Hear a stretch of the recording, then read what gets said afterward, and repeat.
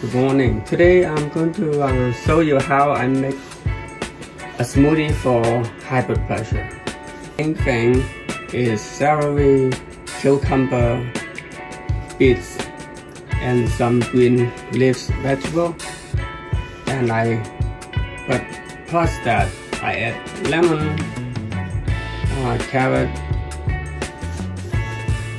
avocado, and uh, blueberry, tomato, orange, and I will add a little piece of banana to it too, with the skin.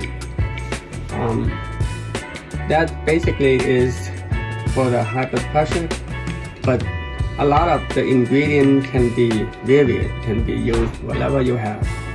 Um, I will list the detail down below the comment line so you can look at it but main thing is celery, cucumber, and green leaves and beets.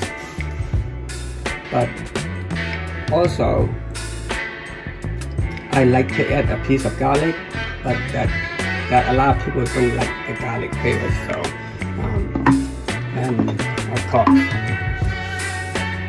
um, clean water. So.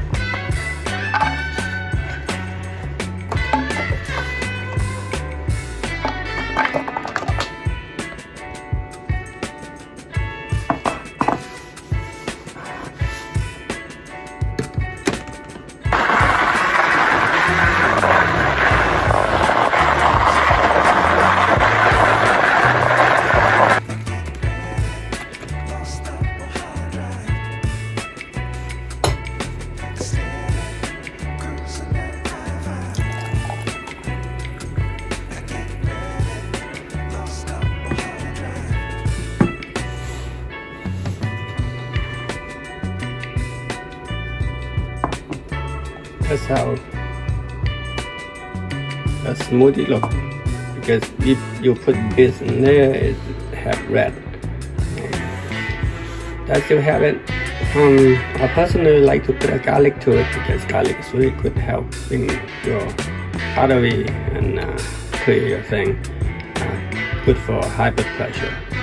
But um, enjoy and check out the ingredient down below Thank you for watching.